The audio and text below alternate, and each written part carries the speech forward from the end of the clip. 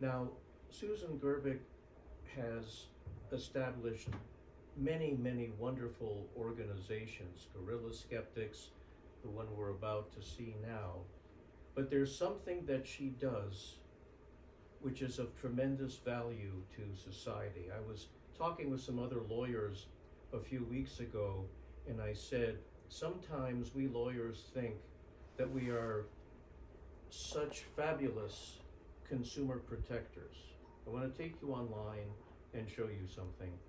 One of the things that Susan has devoted her life to is helping people escape from the fraud of mediums who are all fake. She has helped expose these charlatans who fleece people of their money in pure false hope.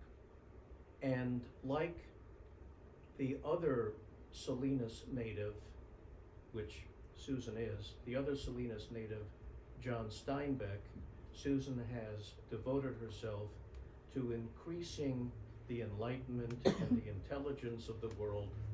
Please welcome the skeptic, skeptic Susan Gerbic.